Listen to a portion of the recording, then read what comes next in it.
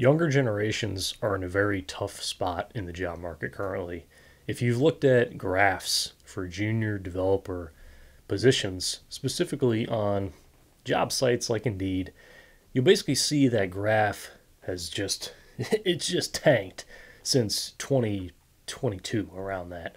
And so when we consider this primarily with, you know, Gen Alpha and very uh, you know, early Gen Z, it's problematic because we're only just now seeing the very damaging psychological effects of generative AI, agentic AI, and all this AI because never has there been a tool that has had such a profound impact on the way that we work and approach problem solving. And people pretend like this is going to be a seamless shift. Like we don't have to talk about it that much. We can just incorporate it into our normal workload and pretend it's business as normal when it's not. Because if you think about the capabilities that you have at your disposal, if I could pull up a site and generate code to do whatever it is, that effectively replaces now what a junior developer used to do. And not only has this raised the bar in terms of entry requirements just to get a junior developer job, but it's made it almost impossible to find one because so many jobs have been taken down because AI is now basically the filler for that role. And not only is this a fundamental shift, but it's so psychologically damaging for the younger generations that are in school studying to do this job.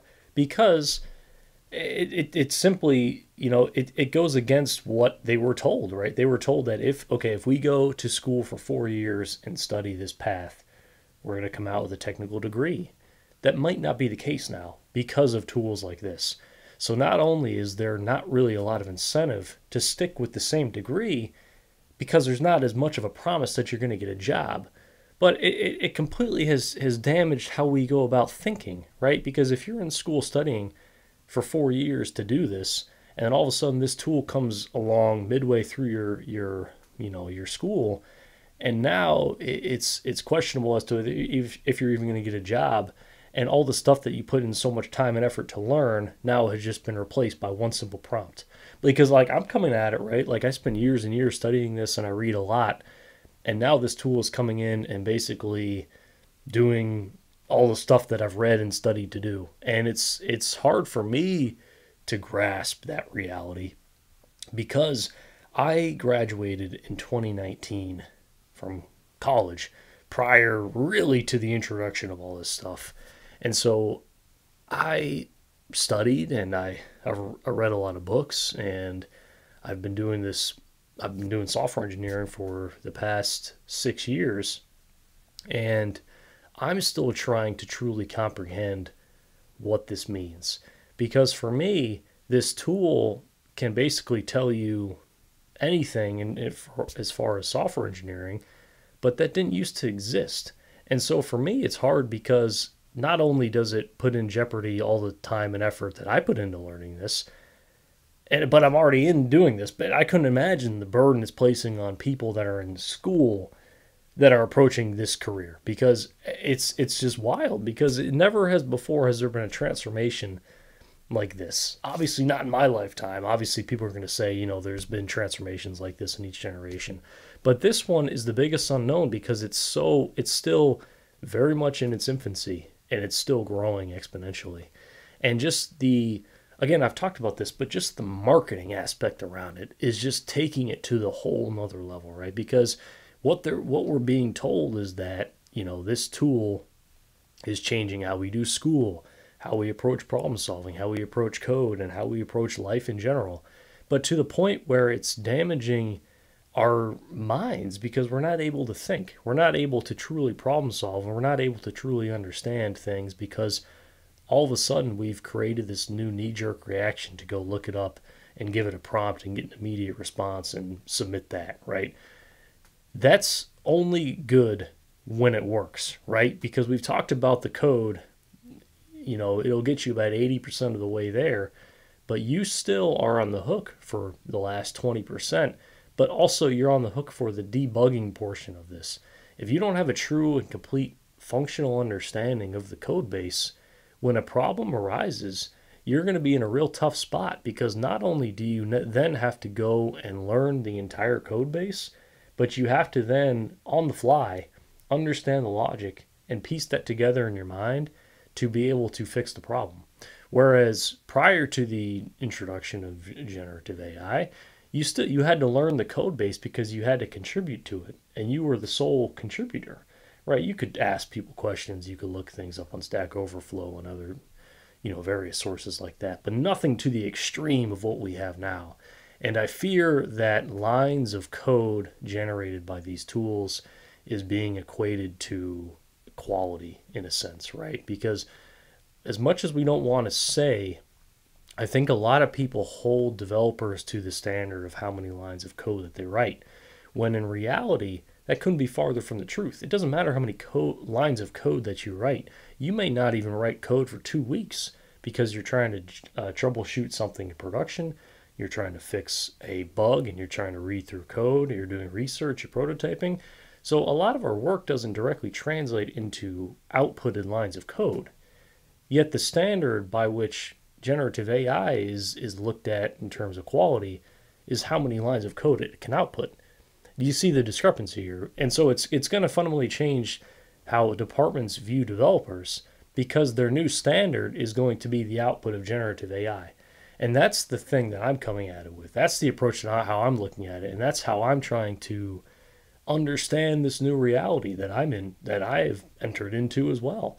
And the burden that it must place on younger people, just, I, I can't even begin to imagine because it, it effectively is going to basically nullify all four years of school. And it's, at me so what are you going to study this for four years, spend a ton of money?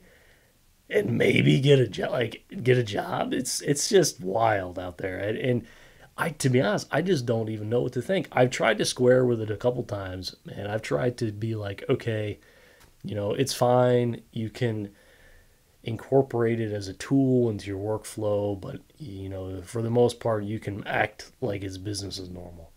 I, i'm i'm beginning to shift away from that mentality and i'm beginning to shift more towards I, honestly just accepting the new reality. And i it's it's kind of freaks me out because you know i just don't know what to think and you know i have my thoughts about agile development i'm not the biggest fan of agile simply because i don't think it's in the developer's interest but my fear is that ai is going to be coupled with agile practices and that's going to really make it difficult for developers to truly build things properly. When I say properly, I don't mean quickly. I think quickly is often just thrown out there as like, you know, we have to build things fast and, you know, quick is equal to good. I don't think that that's true, right? Because if you build something quick, that may work in some use cases, but other things take a lot of time and sometimes time just does not fit in neatly and nicely into an agile framework. Sometimes you just can't break up something into a three or five point story as much as you want to. Sometimes you just can't. And the temptation and the reason that I don't like agile is I've seen too many times when something is too large to fit into a three or five point story, it, it just it either uh, gets broken up, but it, it but always what happens is that the second part of that somehow just goes away and it somehow scales itself down to fit into a three or a five.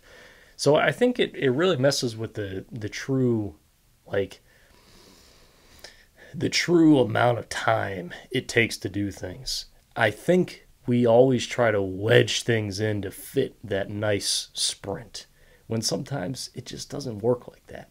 How many times do you have to go and read and research and prototype? How do you gauge that time?